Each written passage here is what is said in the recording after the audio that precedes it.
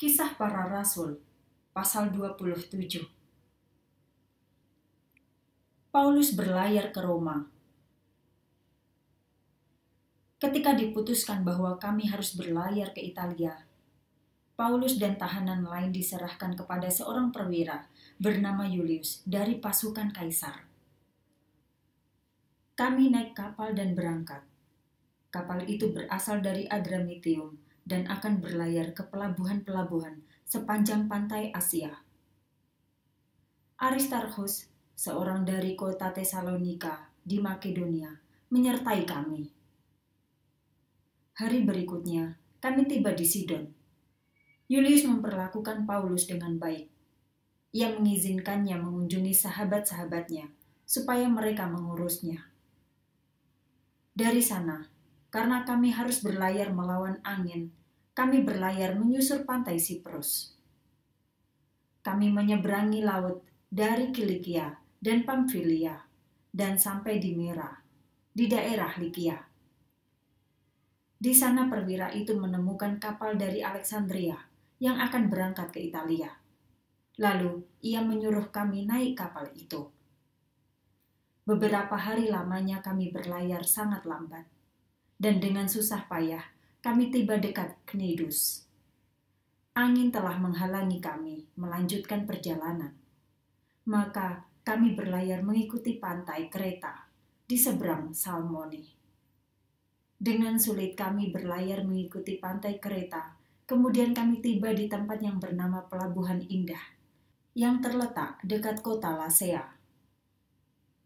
Kami telah kehilangan banyak waktu, dan pelayaran sangat berbahaya karena hari puasa sudah lewat. Paulus mengingatkan mereka. Katanya, Saudara-saudara, aku melihat bahwa pelayaran kita akan membawa banyak kesukaran dan kerugian. Bukan hanya pada muatan dan kapal, tetapi juga bagi hidup kita. Namun, perwira itu lebih percaya kepada kapten kapal dan pemilik kapal daripada mendengarkan nasihat Paulus karena pelabuhan itu tidak cocok untuk berlabuh selama musim dingin. Dengan suara terbanyak, mereka memutuskan untuk berlayar terus.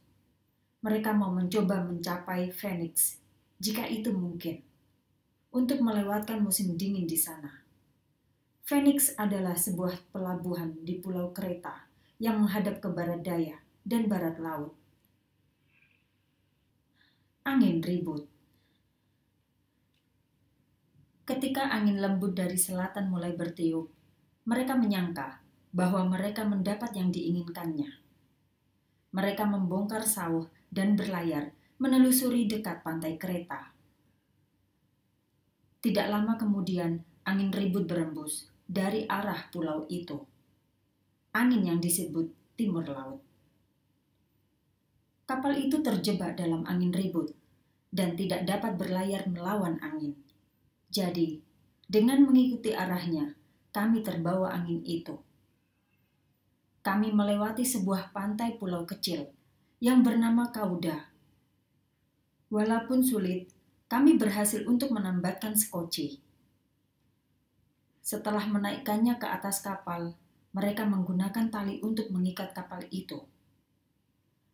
Karena takut kandas di pasir Sirtis, mereka menurunkan layar dan membiarkan kapal di bawah angin. Hari berikutnya, kami diserang badai di laut. Lalu, beberapa orang mulai membuang muatan ke laut. Besoknya, mereka membuang peralatan kapal ke laut.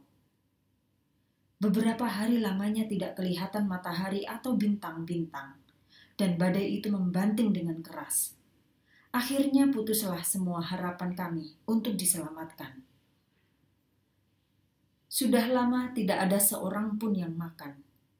Kemudian Paulus berdiri di hadapan mereka dan berkata, Saudara-saudara, seharusnya kamu mengikuti nasihatku supaya tidak berlayar dari kereta, sehingga kita dapat menghindari kerusakan dan kerugian.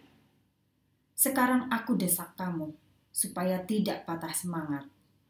Tidak ada di antara kamu yang akan mati, tetapi kapal ini akan hilang.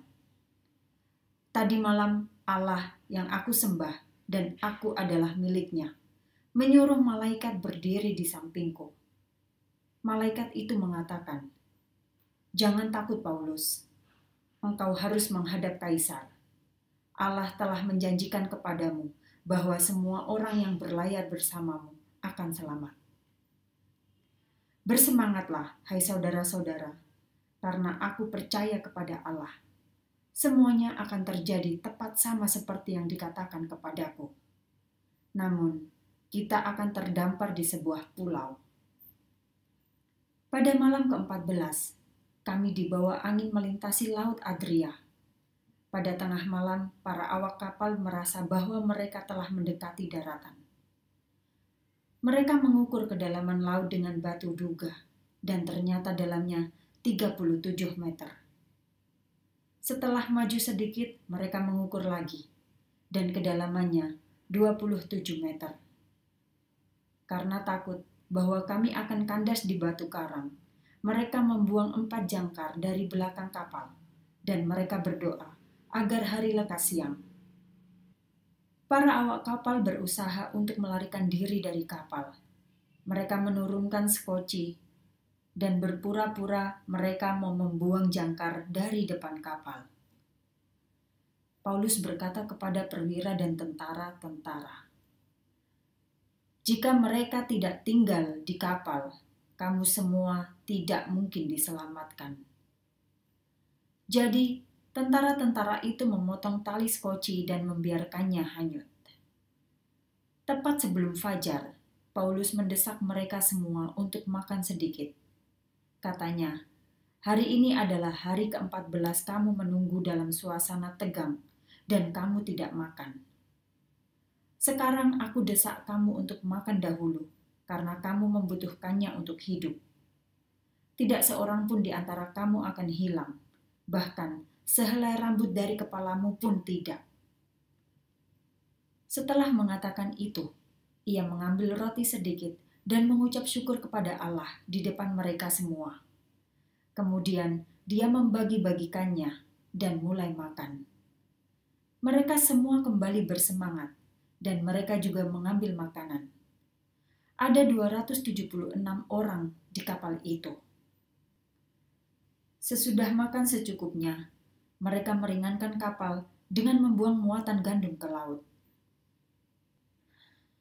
Kapal dihancurkan Besok paginya, mereka melihat daratan, tetapi tidak mengenal daratan itu. Mereka melihat teluk dengan pantainya, jadi mereka memutuskan untuk mendaratkan kapal di sana sedapat mungkin. Mereka memotong tali-tali jangkar dan membiarkannya jatuh ke dalam laut. Pada waktu yang sama, mereka melepaskan tali-tali yang mengikat kemudi-kemudi.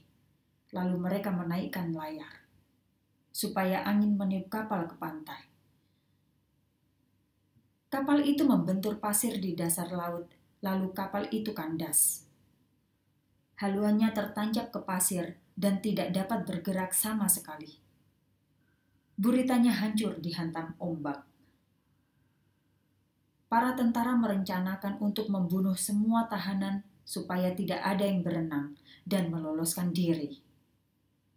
Perwira mau menyelamatkan Paulus, maka ia mencegah mereka melaksanakan rencana mereka. Ia memerintahkan mereka yang dapat berenang untuk melompat ke laut lebih dahulu dan menuju ke daratan. Yang lain menyusul dengan papan atau bagian-bagian dari kapal. Dengan cara demikian, semua orang sampai di daratan dengan selamat.